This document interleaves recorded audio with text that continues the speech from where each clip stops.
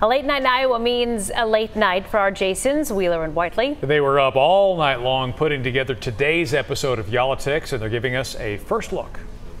All right, here's our first look at the politics episode we have released overnight. We're normally at a bar doing this, but now we're in the lobby of a Fairfield Inn and Suites. And we usually do this with a beer. If you're not a regular Y'all-itics listener, come on board. Download us wherever you get your podcasts. Uh, we substituted the beers. We're usually got a lot more fun than a bottle of water here. But anyways, we're in a Fairfield Inn and Suites in Altoona, Iowa, talking about the mess that happened here with the caucuses last night. Such night. a crazy night that you don't even want a beer at the end of it. You know that's a crazy night. But but here's the deal.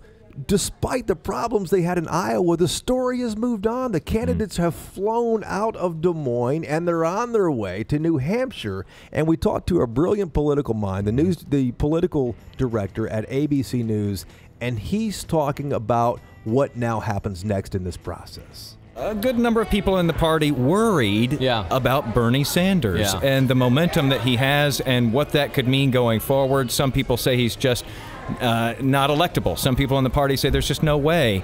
Talk about what this could do, the push and the pull in the party here. Well, I think for the, for the Democratic Party, you know, Bernie Sanders has been around a while now, right? People saw that what, what happened four years ago. I think these next couple of weeks, if Bernie gets ahead of steam, you're going to see a lot of Democrats sounding every alarm they know about what they can do about the fact that the party's about to send this self-described Democratic Socialist to the nomination. What can they do?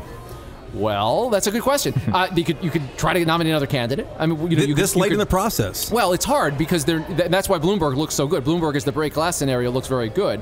Um, you know, there will be- Bloomberg is a break glass scenario. It's pretty good.